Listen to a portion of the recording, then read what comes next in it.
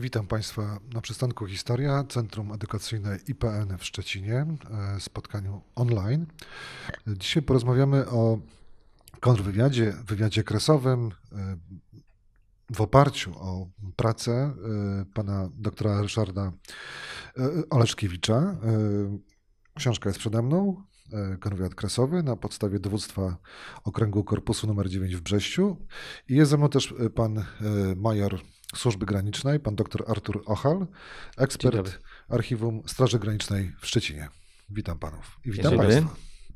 E, panie doktorze, zacznę od pana, jako autora książki. E, obszerna praca, e, wyczerpująca, praca, która jest no, taką bardzo analityczną, drobiazgową robotą, kategoryzacje, dokładne opisy Jaka, na jakim źródle bazowym Pan pracował? Co się zachowało o tym okresie i na temat y, zagadnień przez Pana opisywanych? E, dziękuję za dobre słowo mojej książce. E, pytanie jest konkretne i odpowiedź będzie konkretna. I, I, dobrze, że rozpoczynamy właśnie od bazy źródłowej. W momencie, kiedy zastanawiałem się, padł y, taki pomysł, że można by opisać któreś, którąś z jednostek terenowych kontrwywiadu wojskowego, zacząłem patrzeć e, na archiwa i na zachowane zasoby archiwalne. E, wtedy jeszcze w Centralnym Archiwum e, Wojskowym w Rembertowie. Okazało się, że temat, który notabene ciekawił mnie najbardziej, obszar, czyli dowództwo okręgu korpusu nr 9, Brześć i Polesie, świetnie odzwierciedla się w zachowanych archiwaliach. Losy archiwaliów y, były przeróżne. Te archiwalia, czyli spuścizna po służbach specjalnych II Rzeczpospolitej, służbach policyjnych, y, przejęte były przez naszych okupantów y, jednego i drugiego, niemieckiego i sowieckiego. Później te zasoby archiwalne zostały oddane, w części zdekomponowane. E, I jeśli chodzi o samodzielne referaty informacyjne, czyli jednostki terenowe kontrwywiadu wojskowego, których było przed II wojną światową 11. Zachowały się one w bardzo różnorodnym y, zasobie. Można powiedzieć, niektóre w ogóle się nie zachowały, zachowanych jest kilkanaście jednostek archiwalnych, czy też kilkadziesiąt.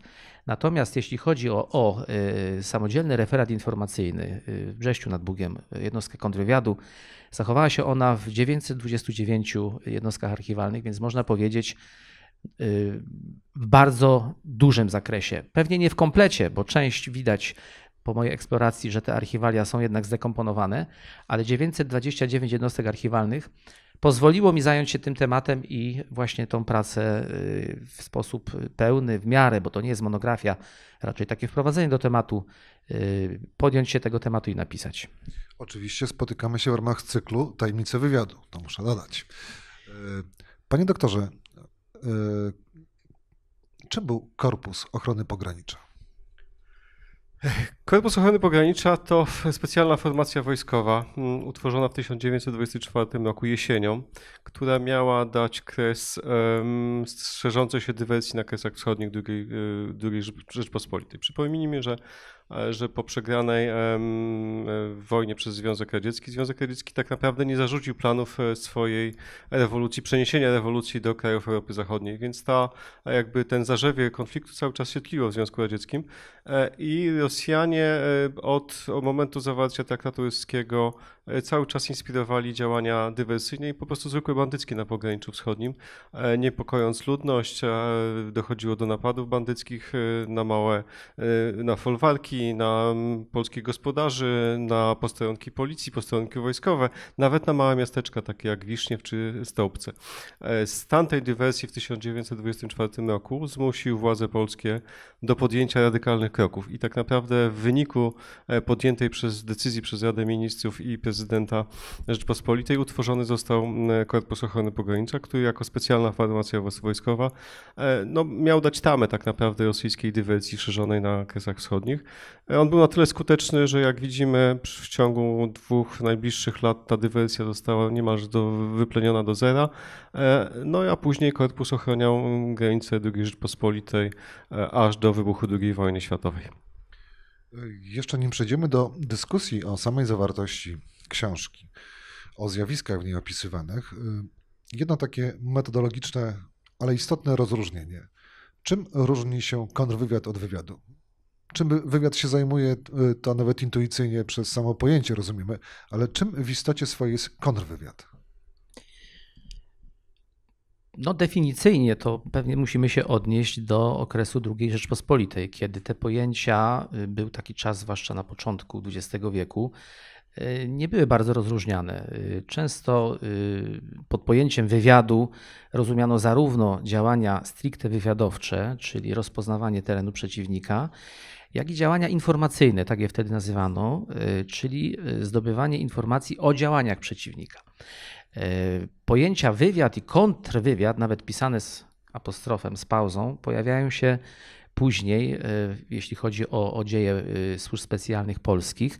To są lata, przełom lat 20. i 30., kiedy kształtuje się centrala wywiadu i kontrwywiadu w Warszawie, oddział drugi sztabu generalnego, a później sztabu głównego. Mówiąc krótko, wywiad zajmuje się zdobywaniem informacji o przeciwniku. Kontrwywiad y, zajmuje się y, likwidacją y, działań wywiadowczych przeciwnika, unicestwianiem tworzonych przez wrogi wywiad siatek wywiadowczych oraz neutralizowaniem szpiegów, agentów obcego wywiadu. Przyjmuje się również, i to nawet przy okazji definicji, że sukcesem dla kontrwywiadu jest unicestwienie agenta obcego wywiadu na zasadzie jego przewerbowania. To jest dla kontrwywiadu sukces. Nie zawsze tak się dzieje. I jeśli tego agenta obcego wywiadu y, szkodzącego państwu, jego strukturom nie da się przewerbować, wówczas eliminuje się go w inny sposób, czyli podaje się waloryzacji procesowej materiały zdobyte przez kontrwywiad, skazuje się go e, na y, karę więzienia. W II Rzeczpospolitej były to kary ciężkiego więzienia lub odwołując się tutaj do realiów kodeksu karnego II Rzeczpospolitej, skazuje się go na karę śmierci. E, za zbrodnie szpiegostwa w okresie II Rzeczpospolitej wykonywano e, wyrok śmierci przez powieszenie.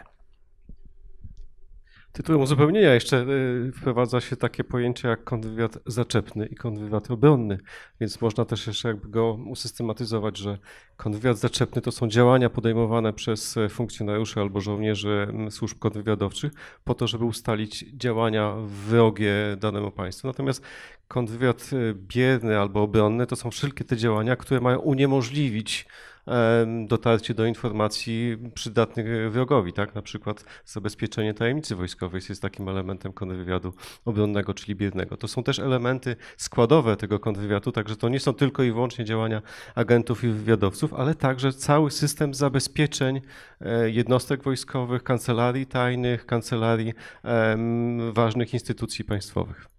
E, no i istnieje jeszcze coś, e, co nazywa się też w terminologii fachowej decepcją, czyli tworzeniu takiego rodzaju informacji, żeby całkowicie zmylić i niewłaściwie ukierunkować przeciwnika.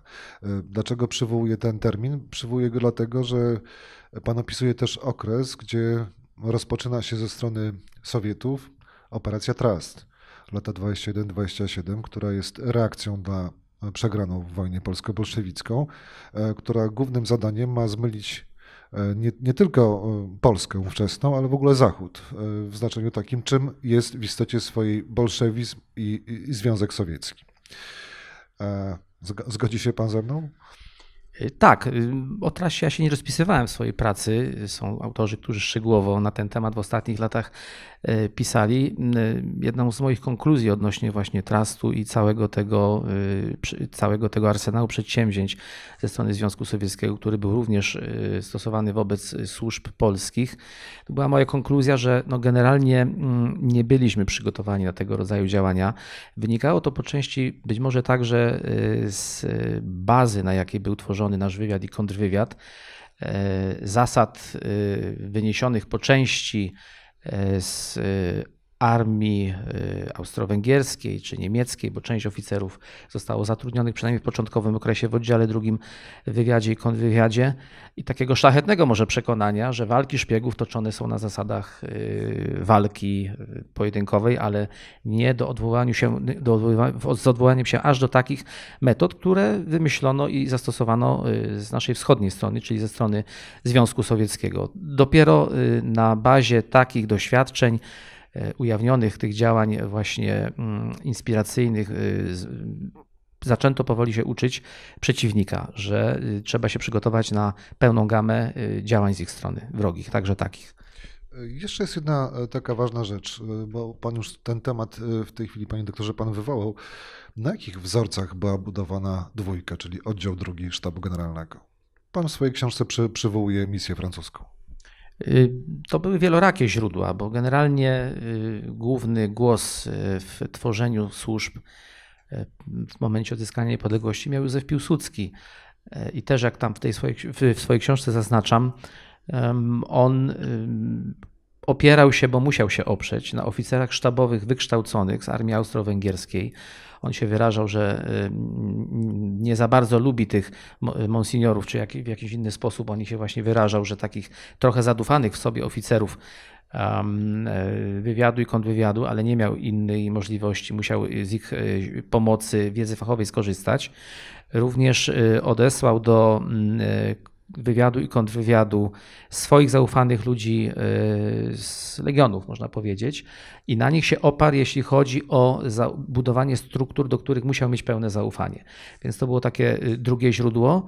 Natomiast jeśli chodzi o e, budowanie całej infrastruktury, wywiadu, kontrwywiadu, ale również szerzej, sztabu generalnego, to, to się opierano na wzorcach francuskich i to było niejako takim nałożeniem. Sztab generalny był budowany przy pomocy mm, Francuzów i również, ponieważ oddział drugi później, ogólnie rzecz ujmując, był również częścią e, sztabu e, generalnego głównego, no to te wzorce francuskie miały odniesienie. W szczególności do założeń etatowych, e, do budowy struktur terenowych, więc bardziej na takich zasadach, można powiedzieć, ogólnej struktury budowania, nie na zasadzie modus operandi, bo ten modus operandi był trochę przeniesiony z armii obcych, a później budowany już na zasadzie y, zagrożeń, które pojawiały się w poszczególnych dekadach y, czy mm, w poszczególnych latach w okresie II Rzeczpospolitej.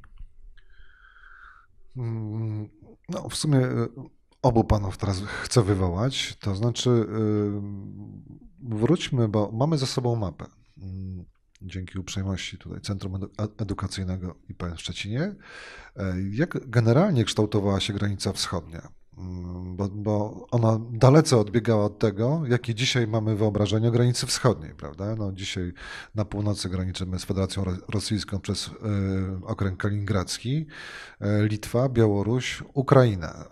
Y, jak wyglądała ta granica w II Rzeczpospolitej? I dlaczego tak duże znaczenie miało powołanie Korpusu Ochrony Pogranicza?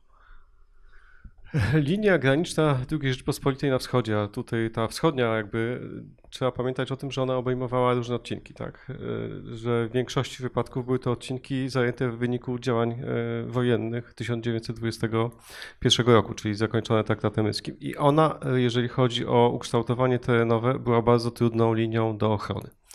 W wielu miejscach przecinała wioski, przecinała rzeki, przechodziła na jedną stronę rzeki i ona nie była linią E, jakby wytyczoną wzdłuż e, cieków wodnych czy przeszkód terenowych, która byłaby dobrze, e, dobrze służyła do ochrony przez służby graniczne.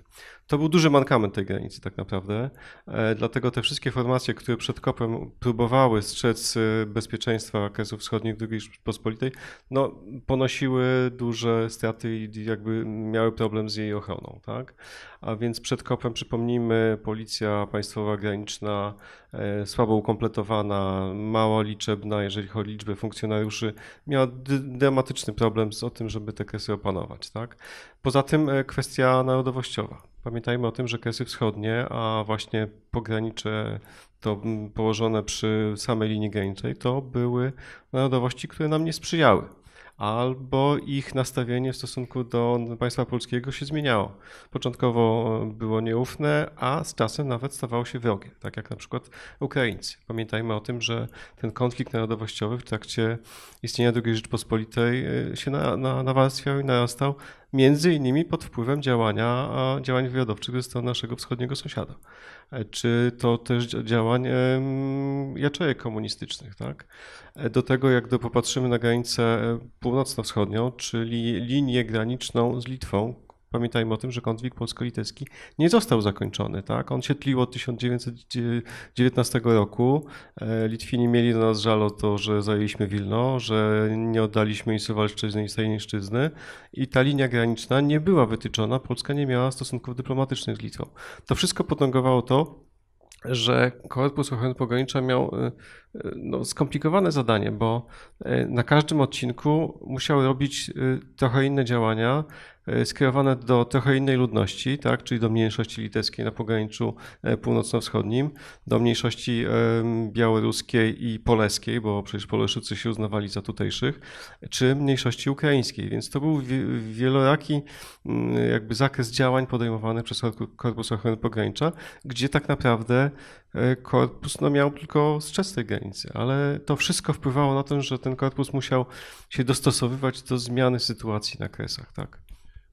Istnieje taki termin, który nie ma tylko takiego charakteru e, nie wiem, literackiego, e, czy z pogranicza folkloru, jak pogranicze. Czym charakteryzuje się dla człowieka, który zajmuje się e, no, ochroną granicy, czy też działaniami wywiadowczymi i kontrwywiadowczymi, termin pogranicze? Czym on się charakteryzuje? W okresie PRL-u był zwiad WOP-u który miał bardzo daleko posunięte kompetencje, łącznie z werbowaniem agentów. A jak to wyglądało w kopie? E, muszę panu powiedzieć, że zwiat e, WOP-u e, tak naprawdę czerpał z doświadczeń przedwojennych Korpusu Ochrony Pogranicza. Oczywiście teoria jest taka, że wojska ochrony pogranicza tworzone w 1945 roku zostały utworzone na podobieństwo oddziałów radzieckich pogranicznych oczywiście. Ale zwiat WOP-u korzystał z pewnych doświadczeń, które miały przedwojenne polskie służby graniczne. W tym pierwszym okresie tworzenia zwiadu WOP-u, czyli 45, 47, 48, około 30-40% kadry e, oficerskiej to stanowili oficerowie, którzy wywodzili się z Korpusu Ochrony Pogranicza i ze Straży Granicznej. Tak? Oni nie byli na najwyższych stanowiskach dowódczych, może nie w niewielkiej grupie, ale odbywa, od, odgrywali ważną rolę, jeżeli chodzi o stanowiska dowódcze tego niższego szczebla. Tak? E, I oni jakiś pewien wpływ na tą formację w tym pierwszym okresie wywarli. Tak? Oczywiście wiemy o tym, że mm, komendanci i dowódcy wywodzili się z Armii Czerwonej, mieli praktykę w pogranicznych atriadach e, wojska NKWD w okresie przedwojennym, I oni jakby decydowali o kształcie tej formacji. Natomiast pewne doświadczenia zostały wyniesione. Czym się charakteryzuje pogranicze? Pogranicze to jest w zasadzie linia graniczna, która dzieli środowiska naturalne, w zasadzie rodzinne, bo pamiętajmy o tym, że jeżeli e, granica zostanie wytyczona w takim terenie, gdzie rodziny E, czy mieszkały po tej i po tej granicy, tak? po, tej stronie, po tej i po tej stronie granicy, ta linia graniczna ich podzieliła, to oni jakby tej granicy nie uznają. W sposób naturalny dążą do tego, żeby odwiedzić znajomych, odwiedzić miejsca kultu położone po jednej lub drugiej stronie, a przeszkodą w, w tym jakby przenikaniu przez granicę są zawsze służby graniczne, tak? w tym wypadku Korpus Ochrony Pogranicza. To jest bardzo trudne zadanie, dlatego że jak się przypatrzymy, ten okres e, wielu lat funkcjonowania KOP-u e, musiał zmienić także jakby podejście samych podoficerów, na przykład Korpusu Ochrony Pogranicza. W wielu wypadkach byli to młodzi, e, młodzi żołnierze służby zawodowej w tym wypadku, którzy tam osiadali zakładali tam rodziny, żenili się z poleszukami, poleszuczkami, e, żenili się z miejscowymi dziewczynami, które mieszkały tam w środowisku i oni osiadali w większości wypadków, więc to ich nastawienie do tej mniejszości też się zmieniało z czasem, tak? Oni tam wsiąkali jakby. Więc to jest takie trudne zagadnienie pod kątem socjologicznym. E, trudno ścigać e, rodzinę swojej żony, która mieszka w pobliżu, tak? Więc to też jakby wpływało na to pogranicze, na jego kształtowanie, jakby funkcjonowanie. Y, jeśli chodzi o województwo polskie, y, teren działania właśnie SRI DOK 9, tego, tej terenowej komórki wywiadu, o której, y, o której pisałem. W województwie... Przepraszam, wejdę w słowo, panie doktorze. W tej chwili w Brzeście mamy granicę polsko-białoruską. Jak daleko jeszcze tereny drugiej RP się rozciągały za tą granicą przed wojną? Chciałem powiedzieć o, o składzie narodowościowym, bo o tym zacząłem mówić, nawiązując do tego, co mówił pan Y, mówił kolega y, Artur Ochał. Y, w województwie polskim Polacy stanowili 15% mieszkańców. 85% to byli Białorusini, to byli Ukraińcy, to byli Żydzi i tak zwani miejscowi Poleszucy. Oni sami mówili o, sobie właśnie, że, że są miejscowymi. rozciągało się województwo polskie aż po tak zwane błota pińskie, czyli po Pinę. To był taki naturalny bufor obronny, tak to sztabowcy sztabu głównego określali, przed ewentualną agresją ze strony Związku Sowieckiego. E, ale również bardzo trudny teren do ochrony kontrwywiadowczej z takiego klasycznego punktu widzenia. To, co e, kolega Artur e, powiedział, często linią graniczną, ponieważ wojna, no, traktat ryski to podzielił, tak można powiedzieć, właśnie sztucznie. Często linia graniczna roz, rozdzielała znajomych, rodziny, sąsiadów. I kontrwywiad bardzo musiał się napocić i postarać, żeby próbować złapać chociażby wszystkie szlaki przemytnicze. Władysław Gomułka, znany nam skądinąd, w swoich opublikowanych wspomnieniach przytacza e, taką kwestię, jak był e, przerzucany e, ze szkolenia dywersyjnego w Związku Sowieckim przez kurierów e, znających e, ludzi po jednej i po drugiej stronie granicy, właśnie w obszarze pogranicza województwa polskiego. Dość szczegółowo w tych swoich wspomnieniach opisuje, jak ten przerzut właśnie jego jako agenta przeszkolonego dywersanta ze Związku Sowieckiego na tereny polskie był e, prowadzony od momentu przejęcia go po stronie Związku Sowieckiego aż do dostarczenia na Melinę i na drugi dzień do stacji kolejowej. Więc Udało się to kilka razy, bo chyba dwa czy trzy razy był tak przerzucony, więc to też widać, no w tym przypadku polski kontrwywiad poniósł porażkę, bo Władysława Gomułkę nie przejął. A jak y, można było scharakteryzować, to, to, to pytanie już kierowane do pana Artura, tą taką charakterystykę kontrwywiadowczą terenu? Jeśli chodzi konkretnie o SRI DOK9, tak? No to tak, już tak, zacząłem tak. o tym mówić, y, troszeczkę y, wspomniał o tym kolega Artur, że to był bardzo trudny teren ze względu na mm, uwarunkowania i terenowe, i również społeczne, czyli mniejszości, mniejszości narodowe. E, miast było bardzo niewiele. Mm, w tych miastach większość rzeczywiście stanowiła ludność polska i e, na drugim miejscu ludność żydowska. I miasta tak w zasadzie były głównymi ogniwami koncentrującymi, e, które koncentrowała się zorganizowana działalność szpiegowska, bo to ujawniane afery to potwierdzały, że tam były te ogniska, gdzie próbowano właśnie tą robotę zbierania informacji gromadzić. I najczęściej, najczęściej, jeśli chodzi o kontrwywiadowczą charakterystykę terenu, to te niebezpieczeństwa związane ze zbieraniem informacji udawało się kontrwywiadowi e, właśnie e, rozbijać te gniazda e, szpiegowskie w miastach, a była bardzo duża trudność przeciąć szlaki przemytnicze. Przede wszystkim ze względu na właśnie ukształtowanie terenu.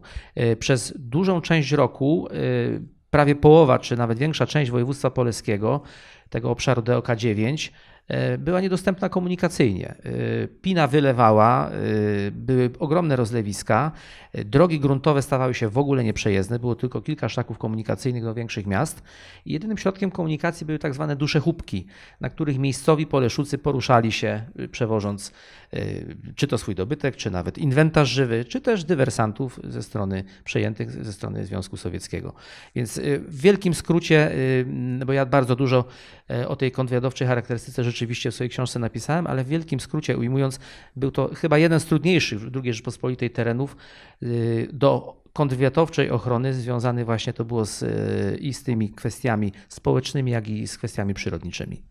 To jeszcze tak tytułem uzupełnienia. E, ja ze swojej strony, zajmując się wywiadem Korpusu Ochrony Pogranicza, mogę dodać, że e, na pograniczu istniały hutory całkowicie zamieszkałe przez e, poleszuków miejscowych, gdzie kontrwywiad po prostu nie miał dostępu. I paradoksalnie Polesie było bardziej dostępne zimą, kiedy wszystko zamazało, niż w okresie e, pozostałej wiosny jesieni, kiedy w zasadzie było niedostępne. Więc wyobraźmy sobie, jeżeli e, mm, sowiecki dywersant został do, dostarczony do takiego hutoru, do którego nie można było dotrzeć, to nikt po prostu o nim nie wiedział, że on tam jest, tak? A jeżeli wszyscy sprzyjali e, temu przemytowi i przenikaniu, że tak powiem, sowieckich dywersantów czy, czy kurierów, no to niestety kontrwywiad wywiad ponosił tutaj straty i nic nie mógł wykryć. Kto i co i w jaki sposób infiltrował na tym terenie? Czyli innymi słowy, e, służby innych państw, jaki miały interes, żeby e, ten teren rozpoznawać? Przede wszystkim infiltrowali Sowieci, e, również poprzez emanację jakichś swoich organizacji zakładanych na bazie mniejszości narodowych. I interesowało ich wszystko, czyli no, to takie może ogólne stwierdzenie, ale trzeba tak to dosłownie odczytać. Jeśli chodzi o kwestie, mm, kwestie ochrony granic, więc na pewno słabe punkty ochrony w, w samym systemie granic i usiłował te rzeczy y, zwalczać ze strony wywiadu sowieckiego Korpus Ochrony Pogranicza, bo przede wszystkim wywiadowczo zajmował się y, ochroną granicy. Natomiast y, samodzielny referat informacyjny w Brześciu nad Bugiem zajmował się kwestiami ochrony kontrwywiadowczej przed zainteresowaniami sowieckimi, które koncentrowały się w takich kilku punktach, czyli przede wszystkim Sowieci interesowali się jednostkami wojskowymi które były rozmieszczone na y, terenie DOK-9. Tam były trzy jednostki duże y, piechoty, był, była jednostka kawalerii, był, y, był duży oddział Korpusu Ochrony Pogranicza i była jednostka marynarki wojennej w Pińsku, która posiadała kilkadziesiąt tak zwanych monitorów rzecznych i przez te monitory również próbowano zabezpieczyć obszar przygraniczny, właśnie poruszając się na jednostkach pływających. Więc e, jednostki e, wojskowe, które leżały w zainteresowaniu Sowietów, usiłował kontrwywiad SRI terenowy zabezpieczać. Bardzo dużą wagę przywiązywano do kwestii poboru. Było 11 rejonowych komend uzupełnień na terenie działania DOK-9. I wiadomo, no to był system powszechnego poboru, gdzie powoływano mężczyzn do służby w Wojsku Polskim. Ponieważ był to teren, gdzie większość stanowiła, stanowiły mniejszości, również powoływano do wojska, kontrwywiad bardzo pilnie przyglądał się tym powoływanym, powoływanym poborowym, żeby eliminować zawczasu, no wiadomo, osoby, które dawały podejrzenie, że są szpiegami albo są podatne na wpływy komunistyczne, bardzo pilnowano y, ze strony kontrwywiadu, żeby wpływy komunistyczne no, były ucinane w wojsku. Z różnym to było powodzeniem, bo siłą rzeczy wiadomo, że y, zwolennicy komunizmu przenikali chociażby w postaci poborowych do armii, ale trzeba podkreślić, że właśnie na bazie tych komend uzupełnień, gdzie kontrwywiad y, bacznie przyglądał się procesowi poboru, te kwestie próbowano zabezpieczyć. E, w Siedlcach funkcjonowały wojskowe zakłady lotnicze była ekspozytura y, samodzielnego referatu informacyjnego y, z Brześcia właśnie w Siedlcach i głównym zadaniem tej ekspozytury była ochrona przemysłu lotniczego, wojskowego y, na tym terenie. Zachowało się bardzo dużo teczek, dziś powiedzielibyśmy zabezpieczeń osób, które były związane z tą fabryką y, produkującą samoloty. Więc to była kolejna kwestia. Oczywiście dlatego, że y, tą, y, tym zakładem produkcyjnym produkującym samoloty wojskowe również interesowali się Sowieci. Tutaj Artur wspomniał, że nie sam wywiad sowiecki, ale również wywiad litewski działał na, na terenie SRI DOK-9 i również w bardzo dużym zakresie wywiad niemiecki.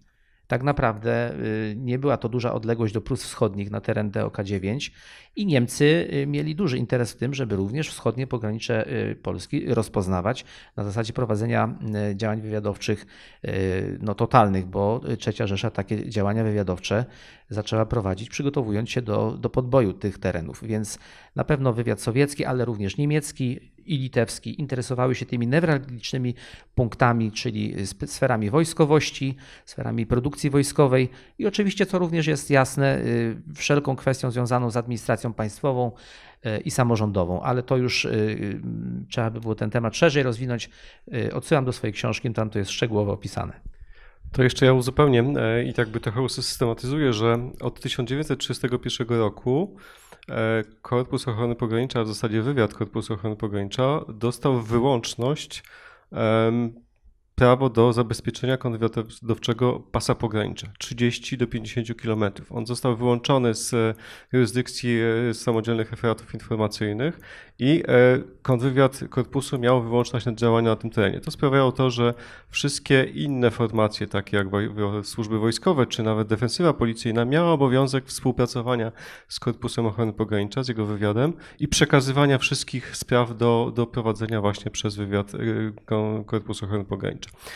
Jest kilka zachowanych sprawozdań kontrwywiadowczych sporządzonych przez szefa wywiadu Korpusu Pogranicza, majora Skindera, w którym on charakteryzuje działania sowieckiego wywiadu w sposób no, w zasadzie dosadny, dlatego że on uważał, że działaniem wywiadu sowieckiego na pograniczu było zdemoralizowanie jak największej liczby mieszkańców pogranicza. Chodziło o to, żeby e, zachęcać ich do współpracy za mm, dolara, dwa dolary, trzy dolary, za niskie pieniądze, po to, żeby ich ze sobą związać, tak? To był łatwy pieniądz tak naprawdę, więc łatwo było pozyskać na przykład mieszkankę pogranicza młodą, która nie miała pracy i nie miała zatrudnienia, zagadnąć ją na granicy, żeby kupiła flaszkę wódki i przyniosła następnego dnia, żeby z nią porozmawiać. E, zachęcona, że dostała tego jednego dolara, następnego dnia się stawiała, e, poproszono ją o tym, żeby ustaliła żołnierzy zawodowych mieszkających w danej miejscowości. I w ten sposób pozyskiwano jakby ich sympatię za niewielkie pieniądze tak naprawdę. W wielu wypadkach ma się wrażenie, że te informacje, które e, ci no, pozyskani informatorzy przekazywali, były no, takiej miernej jakości, no bo na przykład pozyskiwano nazwiska osadników wojskowych polskich zamieszkałych na pograniczu, tak?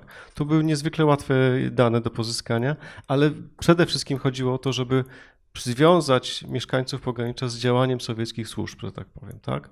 E, do tematów, którymi się zajmował kontrwywiad Korpusu Ochrony Pogranicza w latach 30. doszedł bardzo poważny problem, jakim było zabezpieczenie kontrwywiadowcze prac prowadzonych przy rejonie umocnionym Sarny. Przypomnijmy, że w 1935 roku e, Sztab Generalny i Ścisła Rada Wojenna e, opracowała plan umocnień e, bastionu po lesie. Tutaj akurat będzie mi przydatna mapa. Ja sobie pozwolę tutaj pokazać na mapie, że ta kotlina e, Prypeci i jej dopływów, czyli kotlina poleska, miała w, w, planach wojny ze Związkiem Radzieckim kolosalne znaczenie, dlatego że jeżeli popatrzymy na mapę, tutaj na wysokości Brześcia nad Bugiem rozciąga się właśnie Prypeć i jej dopływy i ten bastion miał spełnić rolę takiego klina, e, który miał rozdzielić ewentualny atak sowiecki. I tutaj właśnie jak sobie przykleimy tę, tą karteczkę, ten bastion Polesia, który miał być tutaj zlokalizowany, czyli rejon umocniony, miał spowodować, że siły sowieckie idąc na Polskę miały zostać rozdzielone, czyli na kierunek na Białystok i kierunek na Lublin. To spowodowałoby to, że siły sowieckie, tak jak w wojnie 1920 roku, zostałyby podzielone i były bardziej podatne na uderzenie ze skrzydeł. W rejonie Brześcia nad Bugiem planowano skoncentrowanie jednostek wojskowych, które zabezpieczone przez rejon umocniony mogłyby właśnie przygotowywać się do ataku na skrzydła, czyli uderzyć na atakujące wojska sowieckie e, na Białystok i na Lublin. Odciąć je i prowadzić do, do otoczenia. Taki był plan, ale żeby wzmocnić tą ochronę bastionu po lesie, od 1936 roku zaczęły się prace projektowe i prace umocnieniowe właśnie w rejonie Sarn, e, których zabezpieczeniem miał się właśnie zajmować kontrwywiad Korpusu Ochrony Pogranicza. To jest około 170 km prac prowadzonych w terenie. Ja się tym, tym zagadnieniem zajmowałem i wyobraźcie sobie, że e, zabezpieczeniem miała się zajmować placówka wywiadowcza Korpusu Ochrony Pogranicza nr 7 w, w Sarnach o liczebności trzech oficerów, dwóch podoficerów wywiadowcych, jeden kancelarista i czterech woźnych. Oczywiście czterech woźnych odliczymy od tego, więc tak naprawdę, gdybyśmy e, policzyli na jednego czynnego oficera wywiadu i podoficera wywiadu przypadało około 28 km do zabezpieczenia kontrwywiadowczego. Nierealne do spełnienia, bo tej placówki nikt nie zwolnił od innych działań, takich jak e, prowadzenie wywiadu przeciwko Związkowi Radzieckiemu, e, od zabezpieczenia ochrony tajemnicy w jednostkach wojskowych, czy chociażby od sprawdzania pracowników przydzielanych do nabudowy rejonu umocnionego. Więc kolosalne zadanie i nierealne do spełnienia tak naprawdę. Zaraz wrócimy do tego zagadnienia, które pan e, major poruszył, dlatego że dojdziemy do 1939 roku i, i udziału kopu w obronie e, przed Sowietami po 17 września 1939 roku. Ale jeszcze chciałbym tutaj do autora e, książki Kontrwywiad Kresowy jedno pytanie skierować do pana doktora Ryszarda Leszkiewicza.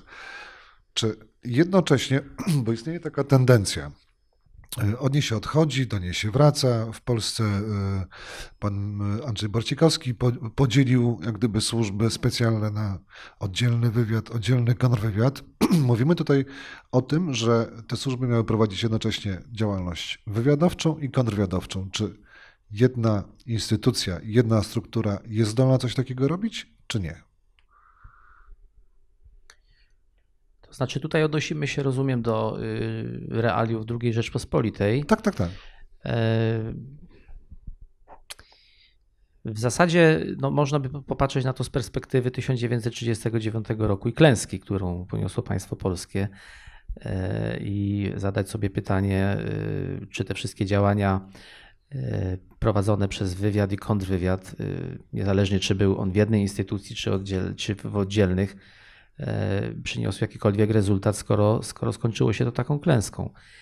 E, ja myślę, że mm, to jest e, pytanie, które pewnie mm, nie wiem, czy będzie mogło, mogło znaleźć odpowiedź na bazie dotychczasowych badań.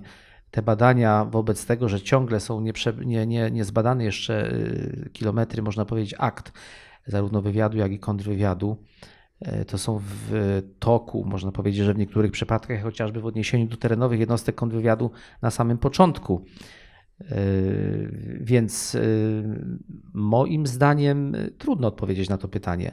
W realiach II Rzeczpospolitej te uwarunkowania mm, strukturalne i etatowe, notabene ciągle zmieniane, bo y, nie było chyba pięciolatki, gdzie by nie było jakichś reform, e, czy to służb y, y, wywiadowczych i kontrwywiadowczych, wojskowych, czy cywilnych, czy nawet w ramach samego Korpusu Ochrony Pogranicza.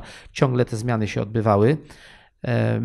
Wywiad i kontrwywiad zachodziły się w okresie II Rzeczpospolitej bardzo za siebie. Jeśli niekompetencyjnie, to merytorycznie i przedmiotowo, tak naprawdę bo y, i ekspozytury wywiadu, które y, funkcjonowały w terenie, y, i samodzielne referaty informacyjne, czyli kontrwywiad, tak naprawdę wszystkie finalne meldunki przesyłały do centrali, do oddziału drugiego, czyli do można powiedzieć, jednej e, instytucji, która e, analizowała, zbierała na podstawie tychże informacji, robiła później, opracowywała wytyczne do, do pracy. Moim zdaniem dobrym rozwiązaniem jest, jeśli informacje wywiadu i kontrwywiadu na jakimś etapie stykają się i spotykają w jednym ośrodku analitycznym. W jaki sposób to było zorganizowane do końca w okresie II Rzeczpospolitej, myślę, że jeszcze czeka nas wiele lat badań, żeby na to pytanie odpowiedzieć. I pewnie historia magistra vitae spróbować wyciągnąć wnioski dla teraźniejszości. Tak, tytułem uzupełnienia, ja mam z, z podwórka mm, wywiadu i kontrwywiadu Korpusu Ochrony Pogranicza takie też przemyślenia, że e, ta materia obu służb mocno się przenikała, bo przykładowo są na przykład meldunki wywiadowcze z pogranicza polsko-litewskiego, gdzie agent e, polskiego wywiadu współpracujący z Korpusem Ochrony Pogranicza, gdzieś usytuowany w strukturach policji litewskiej, donosił oczywiście informacje o rozlokowaniu posterunków czy składzie osobowym i tak dalej, ale przesyłał także meldunek na przykład o tym, że w e, w areszcie dane, danego posterunku przebywał taki a taki polski dezerter, który mówił to, to i to i zeznawał e, Litwinom o na przykład o dyslokacji polskich jednostek. Więc widać, że donosił informacje wywiadowcze, ale także sprzedawał tą informację z zakresu kontrwywiadu, czyli wskazywał na ewentualne źródło przecieku dotyczące polskiego funkcjonowania. Sergiusz Piasecki znany skądinąd. Właśnie chciałem go przywołać, bo też mam takie pytanie w związku z tym związane, e, bo, bo malowniczo i, i, i barwnie e, historia chociażby przemytników jest opisana i w tym kontekście mam pytanie, na ile przemyt, przemytnicy mogą być używani wywiadowczo lub kontrwywiadowczo? No to formacja ochrony granicy. E, słuchajcie, to jest bardzo trudne zagadnienie, dlatego że jeżeli się przypatrzymy, e, przemytnicy są tymi, którzy najlepiej znają granice. I to bezsprzecznie wiemy o tym, tak? Więc oni wiedzą, jakimi ścieżkami się przemierzać i tak dalej. I chociażby z tego względu, że najlepiej ją znają, są bardzo pożyteczni dla wywiadu i kontrwywiadu. Chociażby, żeby ustawić odpowiednio służby ochrony granicy, żeby kogoś, kto na tej ścieżce przemytniczej jest, wychwycić. Nie ma stuprocentowej y, granicy, która byłaby ochroniana. Tak? Nie ma takiej możliwości, żeby w 100% granicę uchronić. Nawet metalowy płot na wysokość, jak w Hiszpanii, na 3 czy 4 metrów, nie uchroni tej granicy przed przenikaniem. E, I myślę, że w interesie obu państw, znaczy, znaczy na pewno Polski, nie było to, żeby ta granica była 100% ochroniona, dlatego że my też przerzucaliśmy swoich wywiadowców na wschodnią stronę. Więc musiała być współpraca z przemytnikami po to, żeby przemytnicy sprawdzeni i dobrze opłaceni e, polskiego kuriera czy polskiego um, wywiadowcę na wschodnią stronę przeprowadzili, tak? I przeprowadzili go bezpiecznie z powrotem. Więc ta brama w tej granicy, czyli taka bramka, musiała funkcjonować, więc ci przemytnicy musieli być wykorzystywani z tego względu. E, oczywiście trzeba było brać poprawkę na ich możliwość przewerbowania przez stronę państwa sąsiedniego. Tak? E, I myślę, że to była kwestia do, dobrego wyszkolenia po prostu oficerów prowadzących, że oni musieli być, brać poprawkę, że ten dany przemytnik może także współpracować z drugą stroną. Ja pisałem pracę doktorską dotyczącą pogranicza polsko-litewskiego i tam były takie przypadki e, agentów e, współpracujących z polskim wywiadem, którzy wyprzedają się z wszystkich informacji interesujących polski wywiad, przechodzili na litewską stronę po to, żeby sprzedać wszystko to, co dowiedzieli się od polskiego wywiadu. Tak?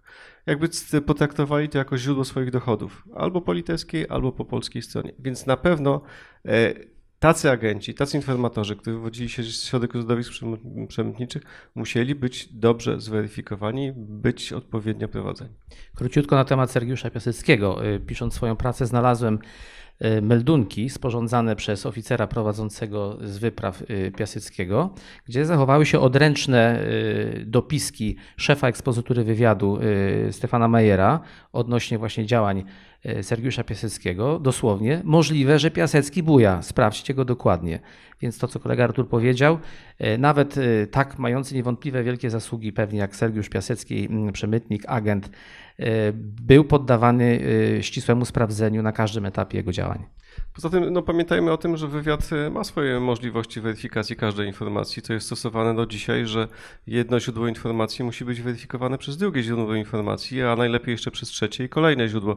Więc myślę, że takie same zasady, które są obecnie, funkcjonowały w okresie przedwojennym. Że zasady funkcjonowania wywiadu, owszem, mogła się zmienić technika, natomiast zasady są podobne, tak jak było w okresie przedwojennym. A teraz y, z punktu widzenia y, wiedzy, którą Pan już nabywał, posiadał w trakcie pisania swojej pracy, y, na ile wiarygodnie Pan ocenia Sergiusza Piaseckiego i jego prozę? A to ciężko mi się do tego odnieść. E, natomiast nie był, nie był Sergiusz, Sergiusz Piasecki jakimś jakimś podrozdziałem mojej pracy, zupełnie przypadkowo natrafiłem na te meldunki składane przez niego w ogóle właśnie w zbiorze nawet Ezeri DOK9. To, to nie było, były to jakieś odpisy właśnie meldunków, czy w teczce gdzieś się zapodziały po, po zlikwidowanej ekspozyturze wywiadu numer 6 w Brześciu. Y, wydaje mi się, że był cennym agentem na podstawie tych kilkunastu tak zwanych kwitów, które po nim znalazłem bo pomijając te dopiski właśnie szefa ekspozytury, e, pułkownika Mejera późniejszego, e, żeby go sprawdzać i weryfikować, no bo był zauważalny właśnie nawet na podstawie tych spraw, sprawozdań jego dyktowanych prowadzącemu, był zauważany pewien rys takiego no, mocnego, no może nie szaleństwa, ale takiego mocnej przebojowości z jego strony. Ta przebojowość zapewniała mu z jednej strony e, jakieś tam pozytywne rezultaty w pracy wywiadowczej, z drugiej powodowała e, może i zdenerwowanie i, i próby mocnej weryfikacji ze strony przełożonych. To, co opisuje w swoich książkach, na pewno oddaje to klimat tego pogranicza bardzo ściśle, które wtedy było w latach dwudziestych e, i tych realiów e, i przemytu i prowadzenia wywiadu, jak również realia strony sowieckiej, jak wyglądała ta rzeczywistość i ci ludzie, ci oficerowie tamtejszych służb. Więc to na pewno, na pewno jest zbliżone do, do prawdy. Pan major czytał Sergiusza Piaseckiego? Oczywiście, to klasyka, ale muszę wam podpowiedzieć, że jest taka e, powieść Łotrzykowska, która jest niezauważalna w zasadzie wśród historyków. Ta książka się nazywa Wiry z Blucza. E, dotyczy lat 38-39. Zupełnie niezauważalna książka na rynku w zasadzie o chwili obecnej. Kiedyś padła mi zupełnie przypadkowo. Ona się odnosi do pogranicza e, ukraińskiego w zasadzie I ma taki właśnie charakter powieści Łotrzykowskiej, gdzie bohaterem głównym jest e, polski urzędnik, e, który bada szlachectwo na pograniczu i próbuje przywrócić tym miejscowym kresłografiakom korzenie szlacheckie, czyli jakby bada ich genealogię i to zjawisko, które miało rzeczywiście miejsce. Powstaje Towarzystwo Szlachty Zagrodowej, e, ale on opisuje to właśnie pod kątem przenikania się wywiadu, przenikania się przemytnictwa poprzez właśnie działań polskiego i sowieckiego wywiadu polecam. Warto sięgnąć po to, żeby właśnie zobaczyć, jaki był klimat tego właśnie e, zakątka Polski. E, poruszyliśmy temat Sergiusza Piaseckiego, czyli też de facto osobowych źródeł informacji, bez których krem de la creme każdej służby. E, kogo, w jaki sposób werbowano, bo technika podejrzewam była bardzo podobna jak współcześnie, czyli najpierw komuś się przyglądano, typowano go, sprawdzano i potem dochodziło do prób werbunku co granica chce wiedzieć o sobie. E, granica mam tutaj w znaczeniu te tereny, które, które leżą przy granicy. W zbiorze po Ezeridy OK9 zachowało się y, bardzo dużo teczek, dziś powiedzielibyśmy źródeł informacji, czyli agentów czy też informatorów. E, I na podstawie analizy tego materiału można stwierdzić i podziwiać funkcjonariuszy wywiadu i kontrwywiadu, bo werbowali w zasadzie y, na potęgę, czyli powszechnie. Y, oczywiście zgodnie z wytycznymi, żeby zabezpieczyć kierunki y, działań kontrwywiadowczych, ale z analizy tych zachowanych materiałów wynika, że często było to werbowanie wstępne, zwłaszcza we wstępnej fazie, można powiedzieć masowe. Czyli gdzieś, jeśli były obszary zainteresowania, przykładowo hotel, czy dworzec kolejowy, czy okolice e, zakładu produkcyjnego e, służby specjalnej wojskowej, czy okolice jednostki wojskowej, to funkcjonariusze, żołnierze SRI DOK-9, na tym przykładzie mówimy, starali się typować i werbować osoby, które by najbliżej, najbardziej mogły przynosić korzystne informacje. Było to często bez jakiegoś szerokiego rozeznania i dopiero w trakcie współpracy Wynika to z tych zachowanych materiałów. Czasem po dwóch miesiącach, po pół roku, po roku okazywało się, czy to źródło jest przydatne, czy nieprzydatne, bo bardzo dużo jest właśnie rezygnacji z, z prowadzenia dalszych źródeł. Zachowywane y, były te y, osobowe źródła informacji, które przynosiły y, konkretne informacje, które stanowiły jakąś perspektywę do wykorzystania. Ale właśnie ciekawa była ta metoda, że było to takie wstępne, masowe werbowanie, często odbywające się w siedzibie ZRIDOK, w kancelarii na zasadzie prawie że półurzędniczej. Tam dawano do podpisu zobowiązanie i, i zakładano teczkę e, źródła. E, a dopiero w toku późniejszej współpracy okazywało się, które źródło się nie nadaje, które jest nie do wykorzystania nawet w okresie wojennym, bo również były takie rubryki, a które ewentualnie przekazywano do dalszego prowadzenia, nawet do dalszego prowadzenia z pozycji centrali. Zdarzały się również takie przypadki. Tak to wygląda z pozycji SRI DOK. No, w przypadku e, kontrwywiadu Korpusu Ochrony Pogranicza w zasadzie mamy do czynienia z dwoma sieciami. znaczy jedna sieć to jest taka sensu stricte kontrwywiadowcza, czyli w skład której chodzili informatorzy i agenci opłacani z kasy wywiadu Korpusu Ochrony Pogranicza. Czyli tutaj klasycznie mówimy o werbunku. Jeżeli agent był wartościowy, docierał do środowisk e, komunistycznych czy do osób, które były związane z jakąś dywersją sowiecką, e, zostawał agentem, musiał mieć założone dosie, musiał mieć zrobione zdjęcie, zdjęcie, to był warunek jakby konieczny. Jeżeli ktoś odmawiał zrobienia zdjęcia, to robiono mu to zdjęcie pokryjomu, czyli on musiał mieć świadomość tego, że jest e, tajnym współpracownikiem e, kontrwywiadu e, i otrzymywał za to pieniądze wynagrodzenie. Podobnie było w przypadku informatorów, ale oni nie mieli założonych teczek i właściwie do dosie, czyli oni byli jakby takimi dochodzącymi. Nie wszyscy oczywiście informatorzy dostawali wynagrodzenie, ale w, pod koniec lat 30. utworzono sieć e, informacyjną e, informatorów honorowych, o czym nie, nie wszyscy pamiętamy, o tym, że w tych... To tak, to przepraszam, że panu wchodzę w słowo. Pan dr Oleszkicz w swojej książce taką, taki diagram pokazuje i tam są właśnie agenci honorowi, płatni i konfidenci. Rozumiem, że konfidenci byli najniższą kategorią. To była nazwa y, zarezerwowana do takich właśnie doraźnych y, y, osób, portierzy w hotelach, kolejarze na stacjach i tak dalej, i tak dalej, prawda?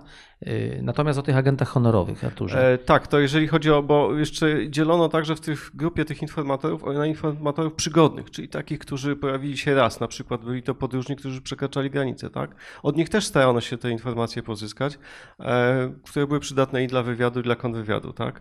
E, ale wracając do, do tych informatorów honorowych, E, pod koniec lat 30., w związku z tym, że działalność kontrwywiadu jest no, działalnością niezwykle finansowo wysoko opłacalną, tak? czyli ponosiliśmy że to duże wydatki z tego tytułu. E, kontrwywiad Korpusu Ochrony Pogranicza utworzył tak by sieć e, informatorów honorowych, którzy byli na przykład członkami przysposobienia wojskowego, tak?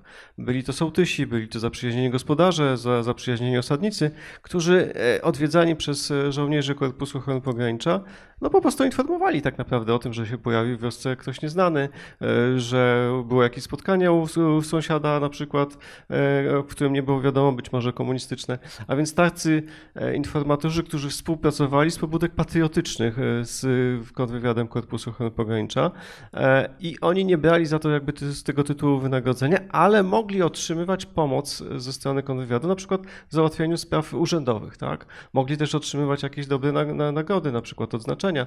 Nadawano im odznakę Korpusu Ochrony Pogranicza jakby, e, czy nas czasami zegarek chociażby to, żeby wyróżnić ich, ich fakt współpracy, tak? I te, te jakby sieci informacyjne tych informatorów e, honorowych były tworzone Przede wszystkim na odcinkach, gdzie było mniejsze zagrożenie ze strony przemytniczej i kontrwywiadowczej, tak? Natomiast tam, gdzie było duże zagrożenie, no tworzono już sieci agenturalne i informacyjne z informatorami opłacanymi tak naprawdę z kasy Korpusu Ochrony Pogranicza. Celem uzupełnienia odnośnie właśnie agentów honorowych i sieci tych agentów honorowych w samodzielnych referatach informacyjnych na bazie y, DOK-9 y, taką zauważalną właśnie y, siatką agentów honorowych była służba leśna. Zachowały się materiały ze szkoleń dla leśników, dla gajowych, organizowane przez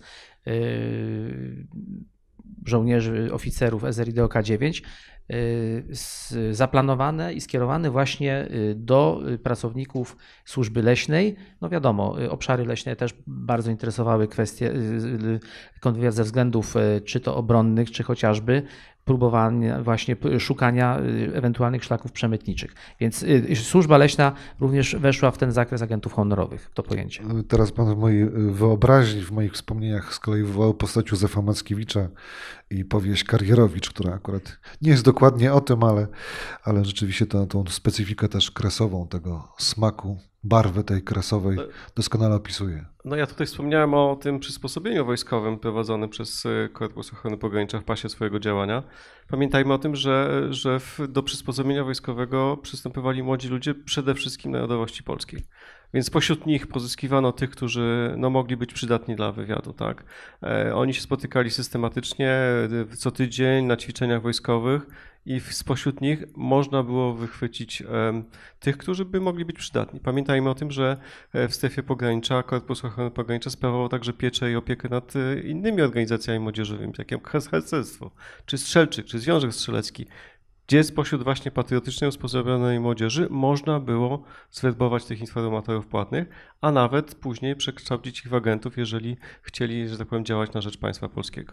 Pierwsi krótkofalarze, którzy zaczęli funkcjonować w latach 30., byli otoczeni ścisłą opieką e, kontrwywiadu SRI. E, również zachowały się dokumenty ze szkoleń e, i z organizowania sieci łączności. Jeśli coś próbowali namierzyć, to mieli obowiązek przynieść do, do kontrwywiadu. A i o to też miałem zapytać, wywołał Pan moje pytanie, to znaczy osobowe źródła informacji, to już wiemy. Dzisiejsza technika no, pozwala pewnie na, mm, chociaż pan, pan major twierdził, że nie do końca, na, na, dużo pewnie bardziej skuteczną ochronę granicy, no bo może być zabezpieczenie fizyczne, są drony, jest cała elektronika, noktowizory. Jak wyglądała ochrona granicy przed 1939 roku od strony technicznej? Od strony technicznej, e, część odcinków tych newralgicznych była audytowana, czyli mieliśmy po prostu do, do czynienia z potem e, z drutu kolczastego, tak? Więc po to, żeby utrudnić sobie przekraczanie granicy w takich miejscach właśnie dostępnych, e, gdzie pomiędzy dwoma hutorami na przykład była droga, więc chodziło o to, żeby tą drogę zablokować. Część była przekopana po to, żeby nie można było ją przekroczyć w jakiś tam sposób. Ale tak naprawdę była zabezpieczana w sposób fizyczny przez patrole żołnierzy, tak? Więc dwóch, trzech żołnierzy, którzy mieli po prostu za zadanie patrolować tą granicę, e, często w trudnych warunkach e, tego wschodniego pogranicza, więc bez względu na pogodę, czy to była deszcz, czy to była zima i tak naprawdę nie mieli e, do, do dyspozycji środków technicznych, takich jak dzisiaj. Tak? Nie mieli motocykla, nie mieli roweru. E, ten rower, czy ten koń służbowy, czy chociażby motocykl przysługiwał e, podoficerom zawodowym, po to i to nie wszystkim tak naprawdę. E, w 1937 roku utworzono grupę podoficerów granicznych, którzy mieli za zadanie właśnie bywać e, w miejscowościach przygranicznych, rozmawiać z, z, ludnością i to oni między innymi zajmowali się takim e, wywiadem, można powiedzieć, środowiskowym tak naprawdę. Oni badali nastawienie społeczności miejscowej do państwa polskiego, e, badali nastawienie mniejszości narodowych, ich podejście do państwa polskiego. Natomiast ci żołnierze, którzy bezpośrednio zabezpieczali linię granicy, no nie mieli takich udogodnień. Tak? Nikt im nie, nie dowoził do, do pełnienia e, służby, do punktu pełnienia służby, ani e, w niektórych miejscach, gdzie była kolejka wąskotorowa, to e, właściciele tych kolejek zezwalali na przejazd do, do, do, do granicy, ale to były wyjątkowe miejsca i tylko chyba w dwóch czy trzech takich miejscach można było dojechać kolejką wąskotorową. Zadam teraz trudne pytanie chyba z pozoru trudne. 17 e, września 39 rok. Czy mm, to była taka weryfikacja trudna dla e, służb e, pracujących na granicy wschodniej, czy też, albo jeszcze inaczej, czy można było tej sytuacji gwałtownego ataku, gwałtownej agresji uniknąć, a ktoś to zignorował? Ja piszę w swojej książce, że w zasadzie należy oskarżyć, oskarżyć, wysunąć zastrzeżenia wobec tych, którzy powinni przewidywać wszystkie scenariusze y, mogących się zdarzyć y, wydarzeń. Y, masowe szpiegostwo ze strony Związku Sowieckiego, masowe działania dywersyjne przez całe dwudziestolecia międzywojenne dawały podstawy do tego, żeby mm, próbować ułożyć takie scenariusze na wypadek y, nie wypowiedzenia wojny, bo to nie było wypowiedzenie wojny, tylko to była agresja po prostu zbrojna, y, nagła y, i spróbować te scenariusze przygotować. Tym bardziej, że tutaj już kolega Artur wspomniał, obsada etatowa zarówno ekspozytur wywiadu, jak i samodzielnych referatów informacyjnych, jak i placówek kontrwywiadu KOP nie była jakaś ogromna. To były kilkanaście, kilka osób. E, więc na wypadek e, tak zwany W, czyli wybuchu wojny, no te scenariusze z punktu widzenia naszej dzisiejszej analizy materiałów ówczesnych, przebiegu zdarzeń, mogły być takie, żeby te działania przewidzieć, e, zwłaszcza w oparciu chociażby o rejon, o którym mówimy, czyli Brzeź nad Bugiem. Tam się okazało we wrześniu 1939 roku, że nastąpiło jakieś y, ogromne skumulowanie niemożności. Ewakuuje się sztab generalny z Warszawy, naczelny wódz. Z drugiej strony y, kontrwywiad, y, pion szyfrów, piony łączności też są tam do twierdzy w Brześciu nad Bugiem ewakuowane. Miejscowy kontrwywiad w zasadzie zajmuje się tylko organizowaniem im pobytu i zaprzestaje pracy typowo kontrwywiadowczej, już pomijając kwestię nikłej obsługi kadrowej. E, więc e, czy można było ułożyć e, inne scenariusze? Być może tak, natomiast mówimy to ex post, czyli w zasadzie z naszego punktu widzenia też wypadałoby dotrzeć do wszystkich materiałów, może i do wszystkich wspomnień, i spróbować wyciągnąć e, jakąś konkluzję i zbudować bazę wnioskową, e, czy w ówczesnych realiach sztabowych budowania scenariuszy na wypadek wybuchu wojny, no takie działania mogły być z wykorzystaniem tego potencjału kadrowego, oficerskiego ułożone. Z logicznego punktu widzenia wydaje się, że trzeba tak myśleć, że, że sibi spacem parabellum, jeśli myślisz o pokoju, szykuj się cały czas do wojny. Jeśli szykujesz się do wojny, wymyślaj każdy możliwy scenariusz, nawet ten najgorszy, który może się zdarzyć, czyli ten scenariusz, którym, przed którym przestrzegał Józef Piłsudski, ataku z dwóch stron. No, nie przewidziano tego do końca. No ja tutaj bym trochę stanął w obronie jakby po, polskich służb kontrwywiadowczych II Rzeczypospolitej, bo przypomnijmy o tym, że tak naprawdę pas pogranicza wschodniego po stronie sowieckiej został przez e, NKWD skutecznie oczyszczony z Polaków, którzy mogliby nam sprzyjać. Tak? Operacja Polska, czyli eksterminacja i wysiedlenie Polaków z pasa pogranicza w latach 30. skutecznie utrudniła nam działania wywiadowcze po sowieckiej stronie. Tak? E, są takie informacje, że że polski agent, żeby zdobyć jakąkolwiek informację, musiał się przemieszczać e, bez jakiegokolwiek zaplecza, czy jakiegokolwiek etapu, nawet do 100 km w głąb Związku Radzieckiego, tak? żeby mieć chociażby punkt oparcia, żeby móc się przenocować.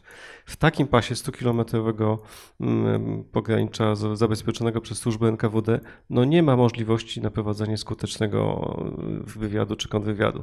E, nie mamy tego w dokumentach, ale mamy w relacjach takie informacje, że wywiad E, Polski, e, Korpusu Ochrony Pogranicza, żeby zdobyć jakąkolwiek informację, wyprawiał się zbrojnie na sowiecką stronę i w zasadzie porywał ludzi po to, żeby tych ludzi e, pozyskać, bo ta ludność, która została przesiedlona na miejsce Polaków, no po prostu sprzyjała władzom komunistycznym. Tak? Ona, oni byli mocno zinwigilowani i mocno współpracowali z NKWD.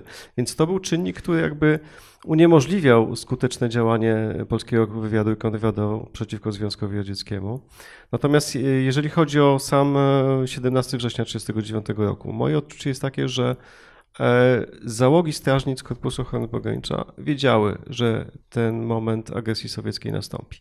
Część strażnic nie dała się zaskoczyć, część była na to przygotowana, e, część przygotowywała się do opuszczenia strażnic i wycofania się, bo po prostu ze względu na położenie e, nie była możliwości ich obrony, tak. No i jak się rozmawia z niektórymi właśnie, mm, e, no już w tej chwili rodzinami w zasadzie żyjących kopisów, dowódcami strażnic, oni spodziewali się tego, że, że ta agresja sowiecka będzie miała miejsce i obserwowali przed pole to, co się dzieje na sowieckiej stronie. Słyszeli ich y, odgłosy maszyn, samochodów, czołgów nadciągających do granicy i myślę, że e, po prostu ktoś na wyższym szczeblu zlekceważył te informacje, które były przekazywane przez e, strażnicę e, Korpusu Ochrony Pogranicza, przez tych nie, informatorów chociażby kontrwywiadu, którzy obserwowali to pogranicze sowieckie. Kontrwywiad w, w okresie mm, drugiego, trzeciego tygodnia y, kampanii wrześniowej na terenach przygranicza sowieckiego no w zasadzie był prowadzony tylko przez Korpus Ochrony Pogranicza. Tutaj trzeba oddać rzeczywiście y, honor y, temu, że te działania były prowadzone przez KOP. Grodnie między innymi. Tak. Tak, ale no mówię, musimy pamiętać o tym, że e, Rosjanie doskonale wiedzieli, e, kto w danej wiosce jest podoficerem zawodowym, jaką pełnił rolę, e, czym się zajmował, że współpracował z wywiadem, że, że jeździł do dowództwa. Oni doskonale o tym wiedzieli. Właśnie przez tych takich zdemoralizowanych informatorów, którzy mieszkali na pograniczu. Za tego jednego dolara czy za dwa dolary oni takie informacje przekazywali. I później te wszystkie polskie wywózki Polaków w kolejnych latach to jest właśnie efekt tego zdemoralizowania pogranicza że y, NKWD doskonale wiedziało, gdzie mieszka dana rodzina, że to jest rodzina podoficera, że w danej wiosce osadnikami wojskowymi polskimi są ci, ci, ci i po prostu oni byli w pierwszej kolejności wywożeni. E, profesor Jerzy Łojek e, w książce wydanej na wiosnę 1980 roku e, dzieje sprawy Katynia wskazuje jeszcze na jedną rzecz, jeśli chodzi o Korpus Ochrony Pogranicza. To znaczy, ci wszyscy oficerowie, ci wszyscy dowódcy, którzy próbowali w jakiś sposób nawiązać e, łączność czy, czy negocjacje e, z Sowietami, najczęściej ginęli. Tylko ci, którzy stawiali opór, ewentualnie wycofywali się potem i ukrywali, przeżyli. Znaczy, no nie, nie wszyscy tak naprawdę, bo ci podoficerowie, którzy wrócili do swoich rodzin, tak, i w porę się nie ukryli z tymi rodzinami, jakby nie wycofali się w głąb generalnego gubernatorstwa, bo takie rodziny były, tak, i część z nich wyjechała z tego, albo po prostu wcześniej wysłały swoje rodziny w głąb e, Polski, to te rodziny się uchroniły. Natomiast część, która wróciła do, do miejscowości i wydawało im się, że sąsiedzi nie zrobią im krzywdy, no niestety się na tym zawiodła, bo ci sąsiedzi ich po prostu wydali, tak?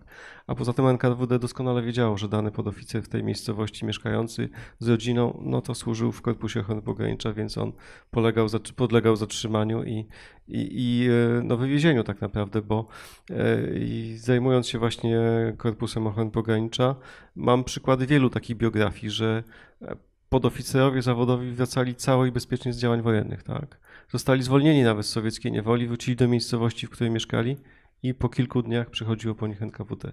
Czyli NKWD doskonale wiedziało, że wrócili i czym się zajmowali o czym napisałem w swojej książce w ostatnim rozdziale, te działania były nieprzypadkowe, były świetnie przygotowane, y, były powołane przed agresją jeszcze y, w Armii Czerwonej w NKWD specjalne grupy, które dysponowały wcześniej sporządzonymi listami, y, kto w poszczególnych miejscowościach, właśnie tak jak wspomniał Artur, zajmuje stanowisko związane czy z administracją, czy ze służbami specjalnymi, czy z policją oraz gdzie między innymi są przechowywane dokumenty i archiwalia, które później jak po sznurku były przejmowane y, i następne kolejne informacje y, przez NKWD były z tych dokumentów właśnie pozyskiwane. No tutaj pamiętajmy o tym, że, że ci, którzy wchodzili w skład tych honorowych sieci informacyjnych, tak, czyli sołtysi, członkowie przysposobienia wojskowego, oni także byli na tych listach i doskonale ze względu na to, że współpracowali z tym właśnie kontrwywiadem Korpusu Ochrony Pogranicza, no też podlegali eksterminacji wywiezieni, tak. Jeszcze pytanie do pana e, majora, e, do pana Artura Achała.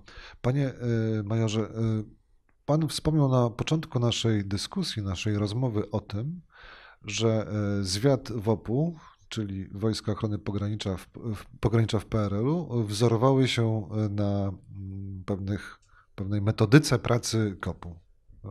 Jak do tego doszło? To jest ciekawa historia. Wie pan co, pewne rzeczy się przejmuje po prostu. E, wspominałem o sieci informatorów tych honorowych, tak? W okresie powojennym zwiat WOP-u wykorzystał system alarmowego powiadamiania, czyli miał zaufanych swoich mieszkańców w każdej wiosce, którzy mieszkali na skrajach miejscowości, ostatnia chałupa przy granicy, e, gdzieś e, tego. I ci e, mieszkańcy po prostu informowali, że ktoś się pojawił obcy to jest to samo, co przed wojną system informatorów y, honorowych. Tak? Ten sam system sprawdzony przed wojną sprawdzał się w okresie zwiadu WOP-u tak naprawdę. Ale to nie jest tylko kwestia domeny y, zwiady WOP-u. Ja myślę, że każda służba graniczna wykorzystuje ten sam schemat i to samo dotyczy y, współczesnych służb niemieckich, które tak samo wykorzystują na przykład myśliwych na ambonach, którzy widzą, że ktoś granicę przekracza i trzeba po prostu zawiadomić, czy dana osoba faktycznie może legalnie tę granicę przekroczyć, czy nie. Więc to jest schemat, który e, zwiat WOP-u przejął e, z, z, doświadczeń informacji przedwojennej, między innymi na podstawie, podejrzewam, doświadczeń któregoś z oficerów e, Korpusu Ochrony Pogranicza, który po prostu służył w tej formacji.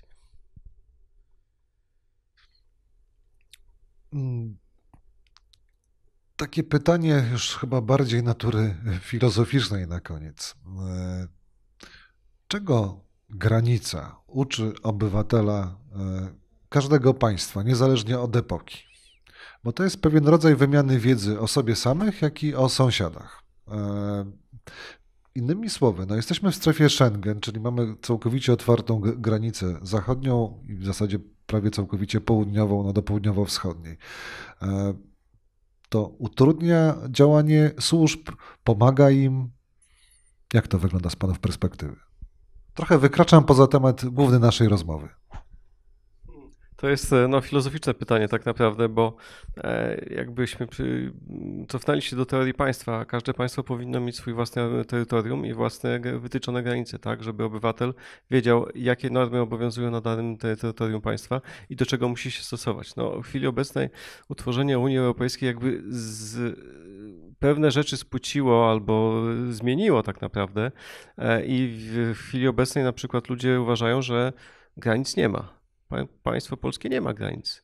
Mamy granicę na wschodzie, ale y, ja przypominam, my nadal mamy linię graniczną wytyczoną pomiędzy państwem polskim i państwem niemieckim, która ogranicza te terytorium chociażby y, z tytułu prawa, które stosowane jest na terytorium polskim i na terytorium niemieckim. Zresztą pandemia znowu nam uzmysłowiła, tak, że, tak. tak. że tak nie jest. Tak, że, tak. Że właśnie no, istnieje. Pandemia to jest takie mocne e, doświadczenie ostatnich miesięcy, że ta linia granicy jednak jest i że czasami może zostać przywrócona. Nas trochę przyzwyczaiło to, ta możliwość lekkiego przekraczania linii granicy i, i że, że w zasadzie no, nikt sobie tego nie rozmawia, że ta linia graniczy tak naprawdę funkcjonuje. Ale powinniśmy mieć świadomość tego, że chociażby w literze prawa zupełnie inne prawo funkcjonuje w Polsce, a inne w Niemczech, tak? Inne normy tu i tam tak naprawdę.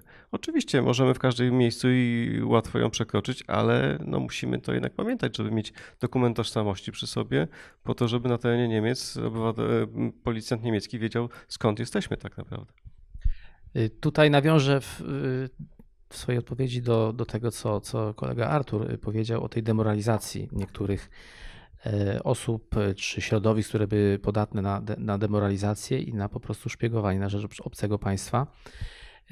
No, granica też uczy takiej odpowiedzialności, czyli kwestie moralne związane z wyborem czy opowiadam się za ojczyzną, której jestem częścią, obywatelem i staram się nie sprzeniewierzyć tym kwestiom, które z tym się wiążą, czy też za przysłowiowe dwa dolary lub worek soli, bo worek soli również był walutą, na podstawie której, dzięki której służby sowieckie werbowały zwłaszcza Poleszuków, bo dla nich sól była czymś mega cennym i, i, i drogim sprzeniewierzę się temu y, i po prostu y, moralnie będę sprzedawał y, swoje państwo, szpiegując na rzecz obcego państwa, zwłaszcza takiego, jakim w okresie międzywojennym był Związek Sowiecki, prawda? To pewnie się też wiązało trochę ze świadomością, e, z utrwalaniem świadomości polskości na tych terenach. Jeśli w niektórych środowiskach to nie było utrwalane, albo były takie e, środowiska mniejszości, które uważały państwo polskie za wrogie, no to tutaj ta kwestia oczywiście nie, nie, nie może być jakoś włączana, ale, ale myślę, że z kwestią moralności e, podejście do sprawy ochrony granic tych, którzy są częścią przygranicza, bardzo ściśle się wiąże. E, bardzo dziękuję za dzisiejszą debatę, za dzisiejszą rozmowę w ramach cyklu e, Tajemnice Wywiadu w Centrum Edukacyjnym IPN w Szczecinie. E, moimi gośćmi byli pan dr Ryszard Oleszkowicz, autor książki Korwiat Kresowy Dziękuję. oraz pan major dr Artur Ochał, Służba Graniczna w Szczecinie, Archiwum Służby Granicznej w Szczecinie. Dokładnie, Dziękuję. precyzyjnie.